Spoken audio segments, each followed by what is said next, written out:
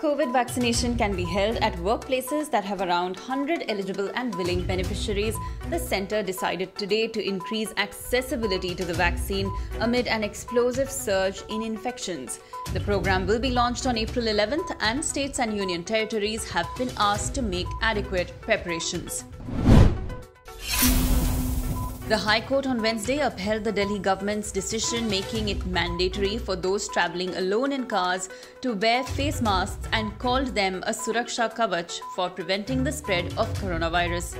The vehicle, even if occupied by only one person, would constitute a public place and wearing of a mask inside them would be compulsory, held the court.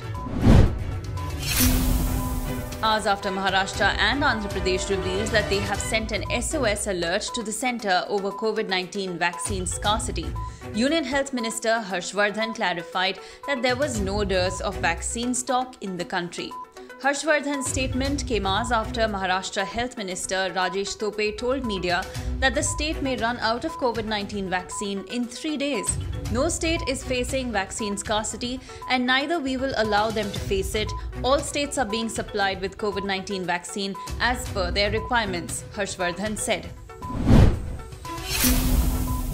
The second wave of COVID 19, in which the numbers are skyrocketing, is hitting younger people and children, unlike the first round when the elderly and those with comorbidities were seen to be the most vulnerable sections.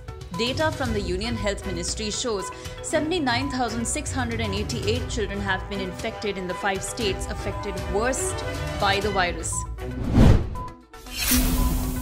North Korea has continued to claim a perfect record in keeping out the coronavirus in its latest report to the World Health Organization. At the beginning of the pandemic, more than a year ago, North Korea described its efforts to keep out the virus as a matter of national existence.